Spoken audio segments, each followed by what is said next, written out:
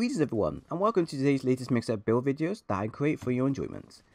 Today's build I have is not one, but two builds instead, and this is all focusing around the new level 4 wide shelling that was made available in the Tower of Colby Siege. Now as a heads up, although I do go into detail about the two builds and weapon use, you don't have to use level 4 wide shelling to make it work for you. You can use level 3 as well, as the only main difference out of the two is damage being done. So don't feel like you have to use a level 4 version for this, as the build I created is one designed to be flexible for yourself and I. So today's build is one that I want to build around the new and very popular gun that's called the Tower of Colby Water, and more specifically the level 4 wide that this weapon possesses. This is a unique weapon, as this one and a few other Tower of Colby gun lances actually gave us a level 4 wide shelling, which wasn't present in the base game until this event came. Now many of you here may already tried out wide shelling before, and from looking at the community feedback on wide shelling on its own, not many people were interested in the shell type, as it is slightly lower damage when compared to full burst normal shelling combo, or long shell charge playstyle combo. But, when using the shelling type on its own, or through the poke shell playstyle, it comes out with a much more higher shell damage compared to the other two, and allows you to do consistent damage and relatively quick damage, which can be safer for you as you don't have to worry about going through a animation of sorts, and can block with ease and this generally makes it a easier and new user friendly shell type that I really suggest many of you should give a try on, as if you want to get into gun lances, wide shelling is probably the most easiest and simplest one to go through. So as our prayers have been answered, I was lucky to get this weapon in the event, with a few other gun lances, and, and have been having a blast with this weapon, no pun intended. And with that being said, I managed to create two builds for you that both fall into the two separate playstyles available for you to begin with. We have the poke shell playstyle and just the shelling playstyle. Both of these builds can be crafted easily with some of the materials being made available for you, while some of the skills might not be available for you to start with, but shouldn't be a problem as most of the set can work fine with what they have. Also, I don't have an artillery jewel or a guard jewel, so what you see is what I have available, but take these info as notes to improve upon it when you have the spare time. So build A, or should I call it CC Breaker or Again, Combo Breaker is a standard poke shell gun lance build for wide shelling that will combine both damage done via your lance pokes and shelling so you can pull off consistent damage throughout the fights. The skills used are the following which are very common ones that you would see in a poke shell gun lance build, and your augmentation is up to you, but I want with health so I can stay in the fight much more longer. So for non-shelling damage that focuses around the lance usage, you're going to be using Weakness Exploit 3 for extra crit damage when applied to monster's weak point, Attack 4 to increase your base damage and receive a 5% extra affinity, Non-elemental boost to significantly increase the base damage a weapon does, as we won't be unlocking the hidden element on a weapon, and Handicraft 2 to increase our sharpness a bit more so we can last a bit more longer in our fights in terms of both poking and shelling. For the shelling and standard protection purpose, I went with Artillery 3 to increase my gun lance shelling damage, Guard 3 to allow me to block monsters' attacks, much more better with little to no pushback, Capacity Boost 1 to increase the number of shells being held by plus 1, Guard Up 1 to block out unblockable attacks, but this can be switched out when you're not facing certain monsters that use unblockable attacks. And Speed Sharpening 2 to allow me to sharpen my weapon faster. But this can also be switched out for something like Medicine, Health Up, Recovery Up, Protection, etc.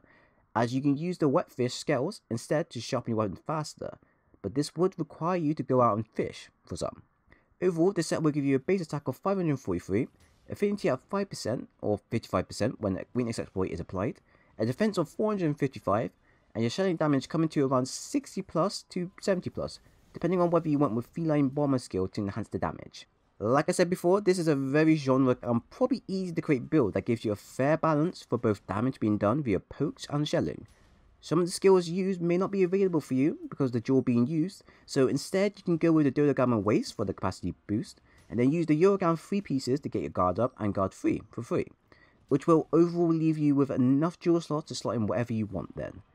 Your standard playstyle will consist of poke shell, poke shell methods, and then depending on if the monster is immobile, I tend to do a overhead slam, then a wide slash, then go into a wyvern stake for more damage, and then finally finish off with a wyvern fire. That's what I usually run playstyle wise, as it will give you a big amount of damage in one go, but this will chew through your sharpness like there's no tomorrow. So that is why you only do that combo when the situation allows you to. But except from that, this is a pretty standard solid build for consistent damage and will help you out majorly when going up against monsters such as Tempered Deviljho, who you really want to prepare but dish out the damage at the same time. Alright, the next build I have is one I call the All Sheller Buckshot build, that as the name states will be focusing on just the shelling usage of your weapon. Many of you here may already know about the only shelling runs you see on YouTube, where you can only use shelling to do damage to your monster, and many players have managed to pull off some amazing feats when using just the shells of the weapon to put out damage. Now, funnily enough, wide shelling when used on its own is very powerful when compared to the other shells in game, with its damage that varies from levels. So level 4 will net you around 60 plus damage, but can go into the 70 plus range when the Feline Bomber is active, making it an effective boomstick for clearing out large monsters in a few hits. So here's my take on the shelling only build that will give you a quick, damaging and relatively safe playstyle for any monster in game, especially Temper Deviljho. I went with Handicraft 4 to push my sharpness into the white sharpness area so I could shell much more longer and not focus so much on sharpening all the time. Artillery 3 for max shelling damage. Guard 3 to block attacks much more easier with little to no pushback.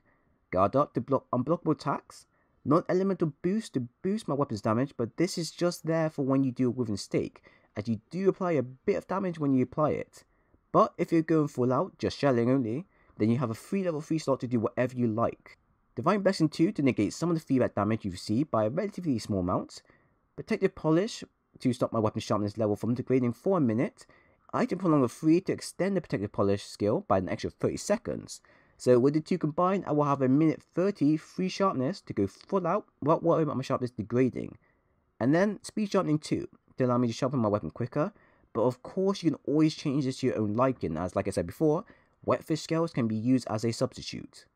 Overall, this will give you a defense of 429 and your shelling damage to come around to 60 plus to 70 plus damage if you use the Feline Bomber skill. Also, neat little trick, if you want a certain skill from the canteen, like the Feline Bomber skill, then either go and create a meal that adds a skill with some health plus standing bonuses, and then use the Feline Voucher to unlock it 100%. Or just find a pre-made meal that has a skill, and then use the Feline Meal ticket to unlock it. This works for any skill you want to go for, so go mad, but not too mad, as the tickets are very limited in terms of actually getting them. So with this build, you're going to be literally just use your shells to do damage to the monster. No pokes, just shells.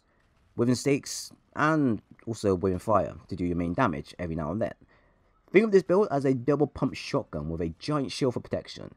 You're going to be firing off your two shells, not three, as two will allow you to pull off a wyvern stake faster, and then redo the process again and again and again and keep doing it until the monster either falls down to where you then double shell stake combo and then finish into wyvern fire when available for a hefty amount of damage in one go.